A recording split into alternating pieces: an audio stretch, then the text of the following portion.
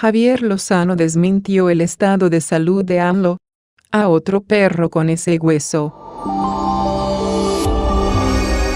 Bienvenido a Si Te Vende, el canal independiente y disruptivo que está enfocado a reunir información que pudiera ser de tu interés para que de manera libre y espontánea te expreses en el casillero de los comentarios de este video. Siempre serás leído y en la medida de lo posible respondido. Nos encanta saber que estás del otro lado viéndonos.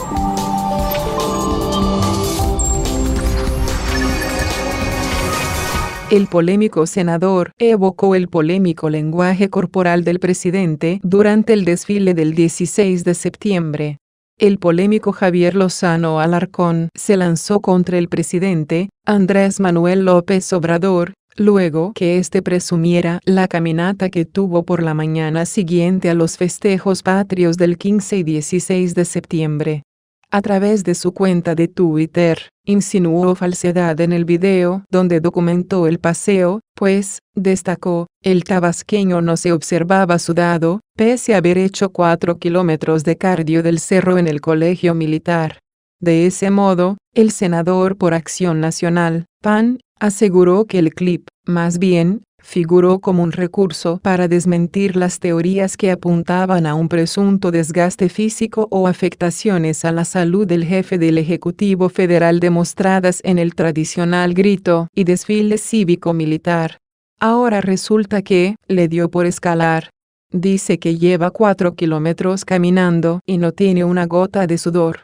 A otro perro con ese hueso, lo que pasa es que nos quiere hacer creer que está toda M asterisco dre después de las fotos de ayer, en las que parece crudo en los panchos.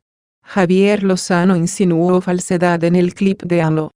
Las imágenes que Lozano Alarcón mencionó refieren a las que se viralizaron el 16 de septiembre pasado, cuando Andrés Manuel fue captado con una controversial postura al sentarse mientras veía desfilar a los equipos militares y de la Guardia Nacional, GN.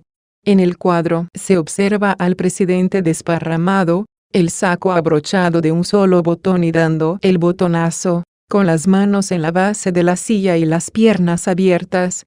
Según varios internautas, un ejemplo de cómo luciría un borracho de antro. Uno de quienes compartieron la fotografía fue el periodista Joaquín López Dóriga, quien recomendó al tabasqueño cuidar su tan criticada investidura presidencial, aun cuando ésta no le importara.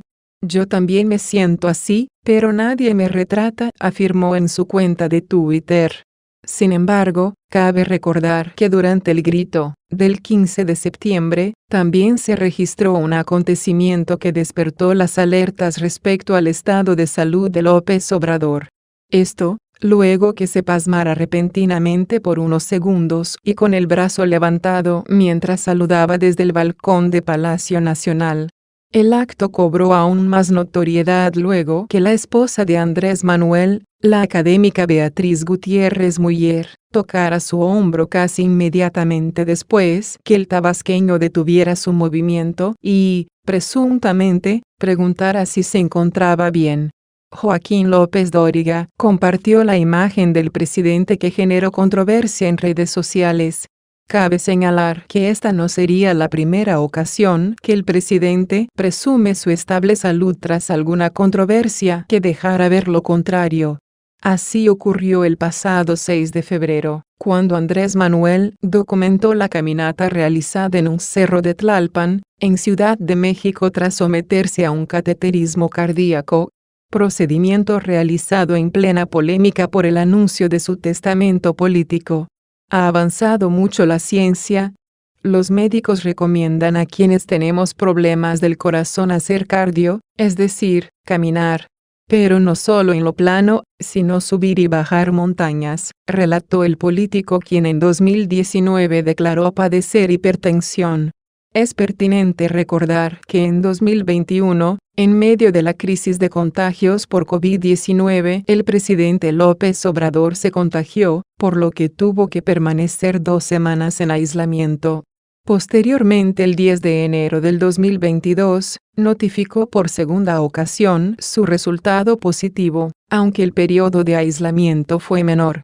Finalmente, el 21 de enero, López Obrador se realizó un cateterismo cardíaco, el cual permite diagnosticar con precisión la enfermedad de las arterias, las válvulas y las cavidades del corazón, así como las malformaciones que pudieran existir. Este canal no sería posible sin tu valiosa ayuda. Es por ello que me pongo a tus órdenes. Soy Rafael Sosa y junto contigo estamos haciendo muchísimo más grande esta comunidad. Suscríbete, regálame tu like y no dudes en compartir este video. Entre más gente lo vea, estarás permitiendo que evolucione este canal gracias a tu incalculable apoyo.